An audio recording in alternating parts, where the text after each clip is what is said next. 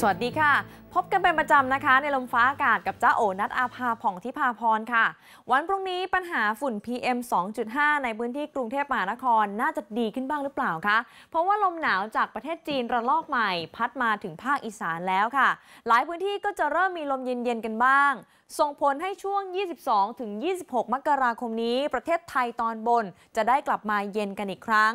โดยภาคเหนือนะคะ อากาศค่อนข้างหนาวเลย อุณหภูมิลดลงประมาณ 1-2 องศาต่ำสุดอยู่ที่นี่เลยค่ะ 15 องศา แต่ว่าภาคอีสานนะคะหนาวกว่า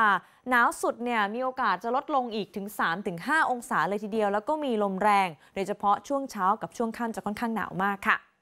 ขณะที่กรุงเทพมหานคร ปริมณฑลภาคกลางและภาคตะวันออก อากาศช่วงเช้าๆมีลมเย็นๆพัดมาบ้าง ก็อาจจะช่วยให้สถานการณ์ฝุ่นละอองในตอนนี้ที่เพิ่มสูงขึ้นนั้นคลี่คลายไปบ้างในหลายพื้นที่นะคะ อุณหภูมิจะค่อยๆ ลดลงประมาณ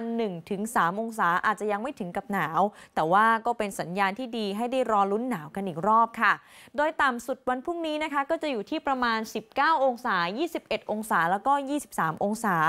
อากาศจะเปลี่ยนอีกแล้ว คุณผู้ชมอย่าลืมรักษาสุขภาพกันด้วยนะคะ